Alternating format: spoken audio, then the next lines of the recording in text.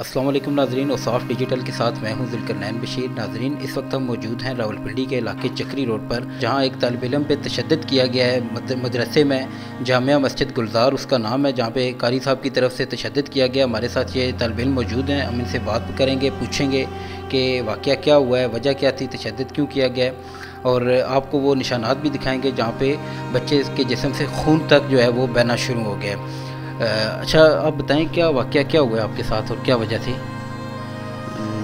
मेरा नाम सैफ गुजार मस्जिद में पढ़ता हूँ। मैं जमेरात वाले दिन कारी साहब ने मेरे साथ चार लड़कों की छुट्टी बाँध की, मेरी भी बाँध की है उसके बाद सारे लड़के चले गए थे, मेरी छुट्टी उन्होंने बाँध किया तो मैं घर आ गया। जब मैं घर आया हूँ, जो हफ़्ते वाले दिन मैं वापस गया हूँ, हफ़्ते वाले दिन गया हूँ, चाचू के साथ, चाचू साथ गया, उन्होंने बात किया, लेकिन कारी साहब ने बात नहीं क्लास में गए, मुझे शापर पकड़ा के कहते जाओ।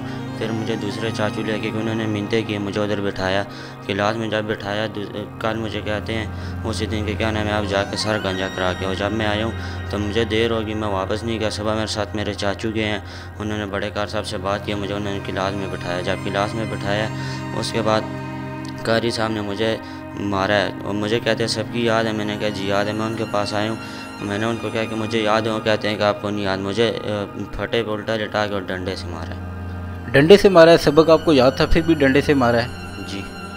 कौन सा मस्जिद का क्या नाम था और कारी साहब का क्या नाम था? गुलजार मस्जिद या फ़ारूकिया मदरसा है कारी साहब का तस्वर नाम है। अच्छा अभी आप क्या लगते हैं इस बच्चे के और आपने क्या कोई कोई मुतलका किसी महकमे में कोई दरख्वास्त वगैरह दी है? जी मैं उसको चाचा हूँ मेरा एक भाई पहले गया मिनत तर लेके फिर दूसरे दिन मैं आ गया। ठीक है मैंने मिनत तर लेके इसको बिठाया बड़े कारी साहब से शिकायत की है उसका।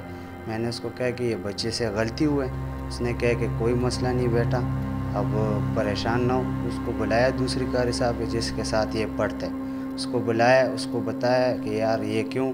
उसने कहा कि ये पढ़ता नहीं है, ये बग़ैर इजाज़त से निकल गया मदरसे से। वापस मैंने उसको कहा, सर, अब इसको सज़ा दे दो, इतना भी नहीं, बच्चा है, अकेला डर जाता है जब आपने जुमेरात को उसको बिठाया और अकेला चार लड़कों के साथ उसको भी आपने छुट्टी दिया फिर ये अकेला किधर रह सकता है?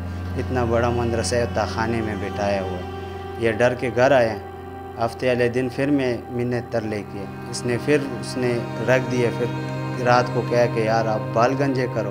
बाल गंजे किए। फिर मैं कल लेके आऊँ। कह रहे कि उसको मैंने कहा कि, शामी वापस आओ। ये शामी लेट हो गया, नहीं आ सकता। मैं सुबह लेके आऊँ, क्लास का टाइम नहीं था। क्लास जब शुरू हो गया मैंने उसको बिठाया उसने वापस निकाला कि इसको लेके जाओ। फिर बड़ा कारी साहब आए आठ बजे। उसके साथ मैंने बात की है। उसने फिर उसको बुलाया, शिकायत किया उसके बाद मैं जब मदरसे से निकल गई हूँ उसको फिर मारे। जी तो नाजरीन, हमने बात की है इस बच्चे से। चौदह साल इस बच्चे की उम्र है। इनका ये कहना है कि इसके साथ चार बच्चे थे और जब वो घर चले गए तो मदरसे में डर की वजह से ये भी अपने घर चला गया। घर जाने के बाद इसके साथ इसके चाचू आए। उन्होंने जो मदरसे के सरबराह हैं, काजी अब्दुल रशीद साहब, उनसे बात की। उन्हें ये कहा गया कि आप बच्चे को बिठा लें दोबारा ये इस तरह बगैर बताए छुट्टी नहीं